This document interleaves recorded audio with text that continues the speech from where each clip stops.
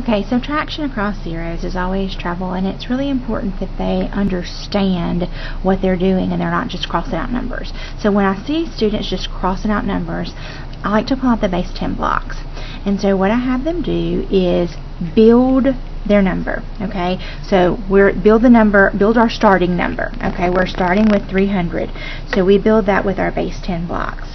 And then we're going to remove, we're going to take away um, 186. So I actually have them physically move it to another pile. Sometimes I have like, you know, a circle or two whiteboards or whatever.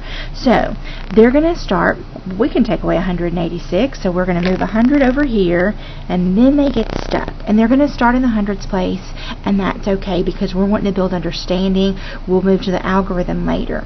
Alright, so we take away our 100, and they're like, well, I can't take away 8 tens and I, because I don't have eight tens.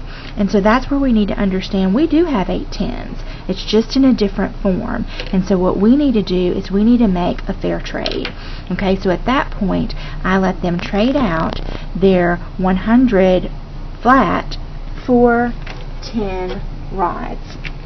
I've discovered that it is helpful for them to literally have to get up and walk across the room and go to, quote, the base 10 bank. Um, because I had it in the middle of the table before, and they would like lose track of what what what was their starting number. So if they have to get up and walk across the room, that just seemed to help. Just a little management tip there. Okay, so now, okay, I'm wanting to take away eight tens. I can remove eight tens and put it in this pile over here. Alright? But I need six ones. Urgh. I don't have six ones, and that's where we've got to stress to our kiddos. Yeah, you do. It's just in a different form. We're going to have to unbundle this um, this rod.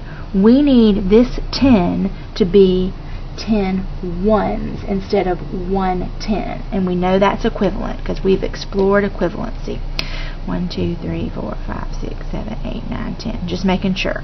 Alright, so now that I have 10 ones, I can remove 1, 2, 3, 4, 5, 6. I can remove those 6 ones. So we started with 300. We took away 186, and we're left with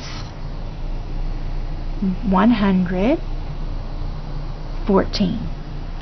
And so that is one way to do um, subtraction to re I think it's a great way to teach subtraction, but even if they already know the algorithm, this is a great way to build understanding for those kiddos who are just crossing out numbers and they don't really know why. Thanks.